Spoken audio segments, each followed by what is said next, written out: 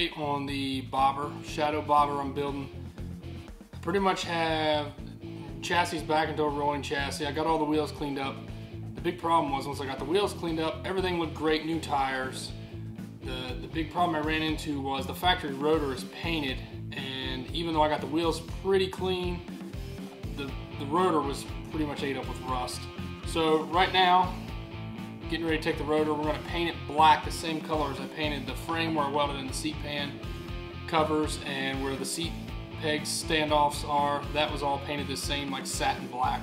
So once that's complete, I have uh, a little bit of wiring to do to finish for the taillight. Uh, I got to run the cables for the throttle and clutch cables and brake line and then this thing's pretty much almost ready to roll down the road. So uh, here we go. I'm going to get that all painted for you today.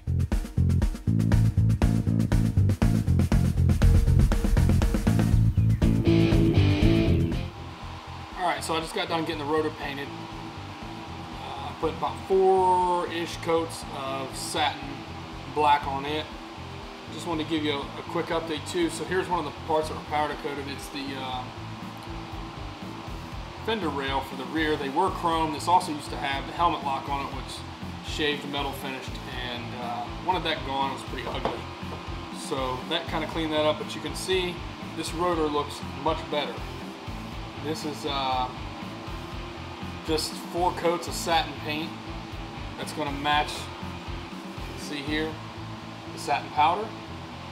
And it's also going to clean that front end up a lot. So there's also a video that I'll probably be showing you now of, you'll see the how the front end went together, the difference between the black and the chrome fork tubes, uh, the black triple tree, the fork lowers being black, all that stuff coming together.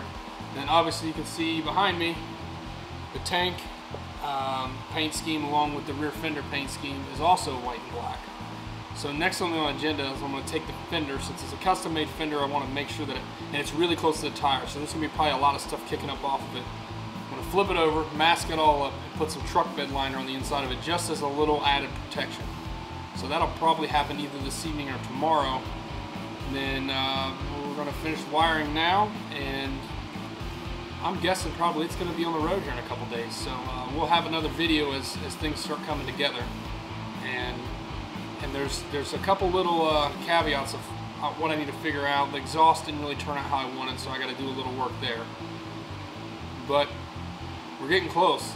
So stay tuned. I'm also put a link to our Instagram at the bottom. I pretty much I update it pretty regularly. So if you want to know what's going on pretty much almost instantaneously, what's going on the bike, what's not going on the bike, what other bikes we're working on in here, uh, go ahead and, and subscribe to our Instagram. Follow, give us a follow, and You'll keep up with everything we're working on. Have a good one.